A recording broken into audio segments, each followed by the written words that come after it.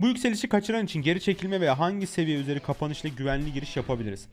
Arkadaşlar size çok temiz bir bilgi vereceğim. Hazır mısınız? Bu tarz yükselişleri kaçırdığınızda ne yapacağınızı söylüyorum size. Açıyorsunuz ekranınızı. btc.d yazıyorsunuz. Bak şu grafik.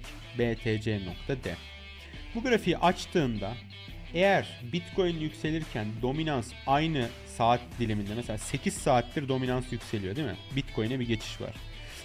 Bu dominans yükselirken zaten çok uzun bir süredir yatay seyrediyor. Bu dominans yükselirken sabırla bekleyin.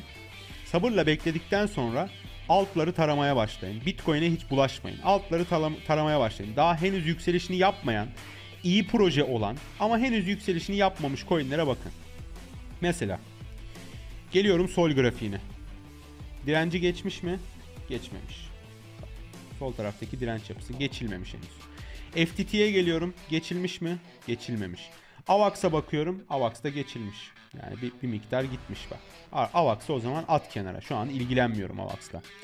Geliyorum Doge yükselişini yapmış mı? Yapmamış. DYDX yapmış mı? Yapmamış. DOT yapmış mı? Son zirvesini geçmiş mi? Geçmemiş. Link geçmiş mi? Geç- geçmemiş. Mina geçmiş mi? Geçmemiş. Serum geçmiş mi? Geçmemiş. Bitcoin geçmiş mi?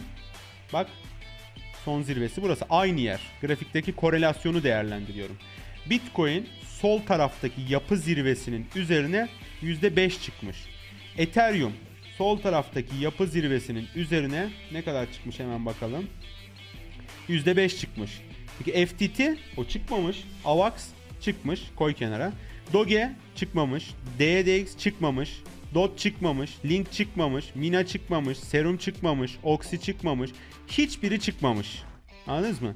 Dolayısıyla siz burada kendi takip ettiğiniz projelerden beğendiğiniz hangisi? Mesela her trader'ın gönlünde yatan bir coin vardır. Beklersin dersin ki ya benim coin'im şu. Atıyorum kafadan ne olsun?